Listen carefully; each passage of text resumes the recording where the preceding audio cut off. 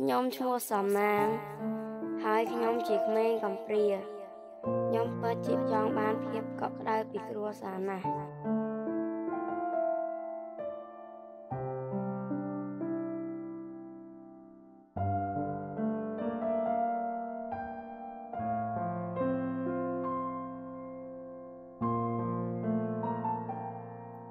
ខ្ញុំឮគេនិយាយថា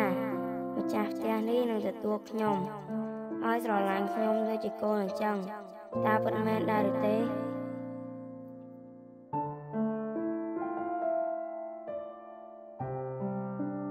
កូនសម្លាញ់ពុករងចាំកូនយូរហើយ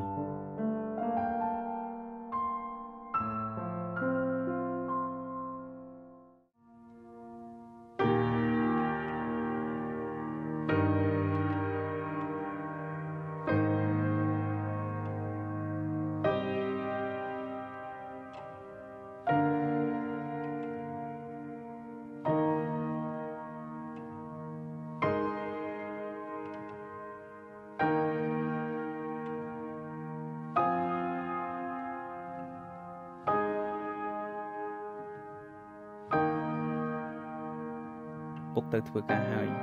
នៅផ្ទះធ្វើជាក្មេងល្អណាបាទពុក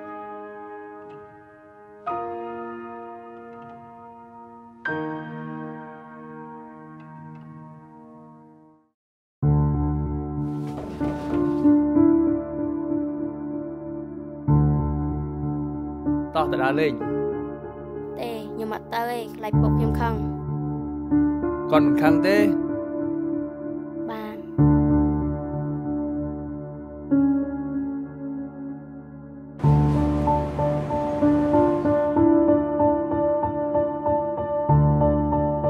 មើលទៅ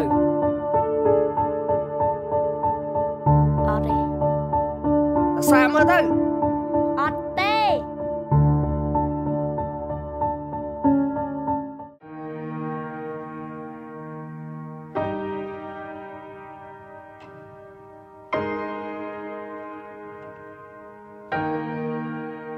ចូលមកកូនសម្លាញ់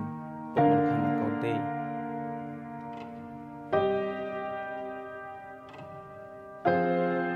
សន្យាជាមួយពុកថាកូននឹងមិនទៅណាចោលពុកទៀតទេ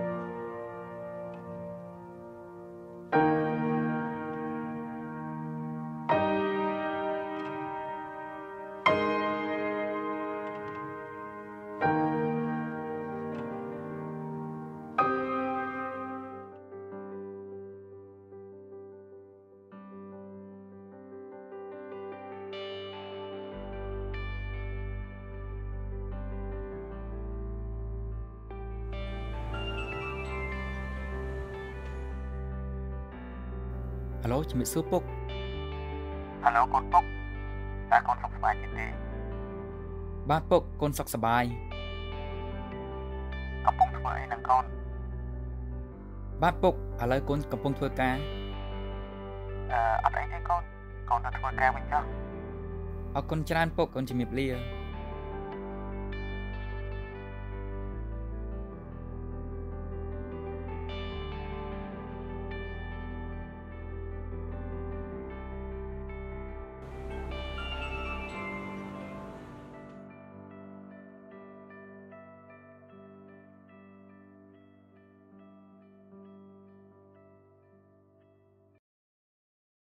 ឡូជំរាបសួរពុកហៅឡូកូនពុកតើសុខសប្បាយទេទេបាទពុកកូនសុខសប្បាយប៉ុន្តែឥឡូវពុក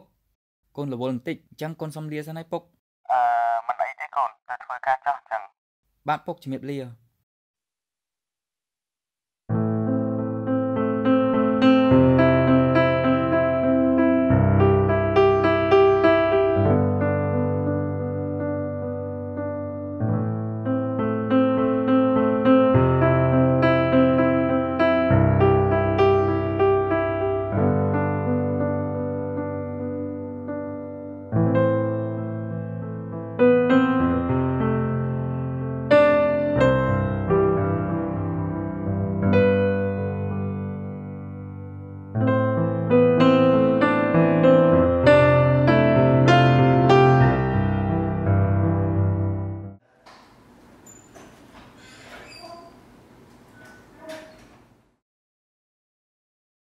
ជំរាបសួរលោកប្រធាននេះជាឯកសារកម្រងថ្មីរបស់យើងសូមលោកប្រធានអញ្ជើញត្រួតពិនិត្យ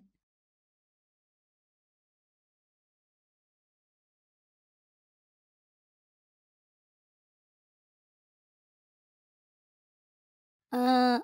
សំទោសលោកប្រធាន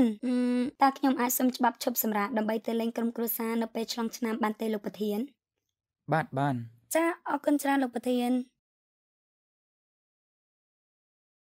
អឺ និយាយអញ្ចឹងលោកប្រធានតើលោកប្រធានមានកម្រងទៅលេងក្រុមគ្រួសារនៅពេលឆ្លងឆ្នាំដែរឬទេបាទខ្ញុំមានអញ្ចឹងខ្ញុំសូមជម្រាបលាលោកប្រធាន